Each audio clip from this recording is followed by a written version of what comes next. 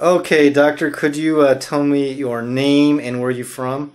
Yeah, Dr. Harpreet Singh Gill from Diamond Bar, California. Okay, and what uh, symptoms brought you to our clinic initially?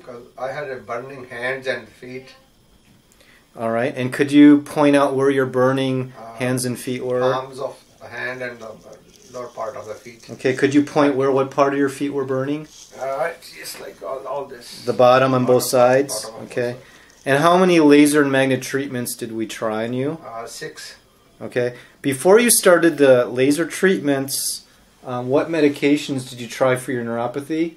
Uh, I was taking uh, Lyrica. All right. And did that help you at all? Uh, no.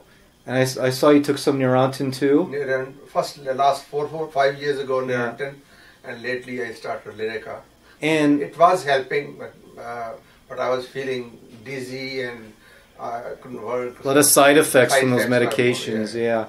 And then I noticed that before coming to us, you had tried some like infrared light boots, Infra- yeah, yeah. and about 30 sessions that didn't really work. No. Okay, but definitely the laser and magnet after six treatments. What did you feel? Yeah, it's much, much better than that. Yeah. Okay, less burning and Less burning, tingling. Great. Looks like it's working great, and we're going to continue to rebuild your nerves. Congratulations. Right, thank you.